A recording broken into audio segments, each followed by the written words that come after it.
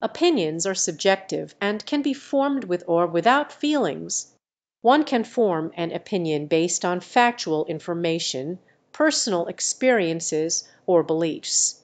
However, one can also form an opinion through an emotional response to a given situation or topic.